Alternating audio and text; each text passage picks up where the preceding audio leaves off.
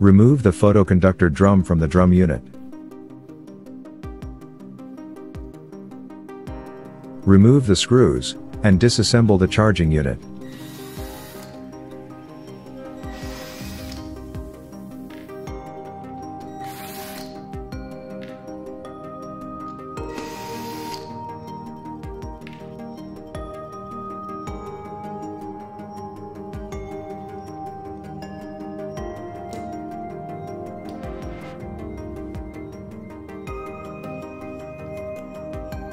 Once you remove the casing, you can remove the drum lubricant bar.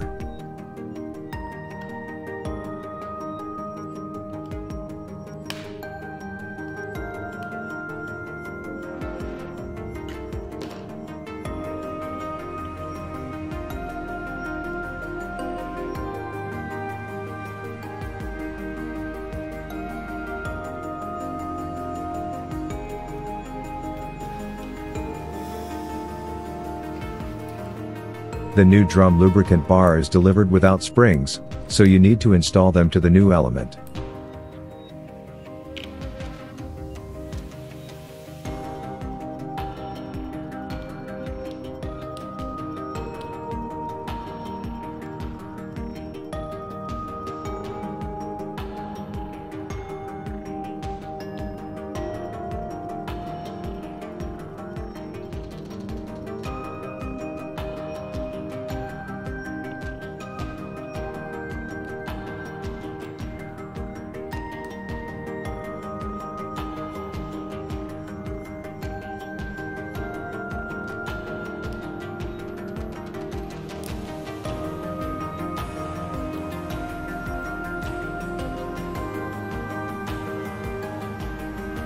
There are two options for mounting springs, and this is very important. Remember that this is not your choice, because the manufacturer precisely specifies the spring tension for individual copier models.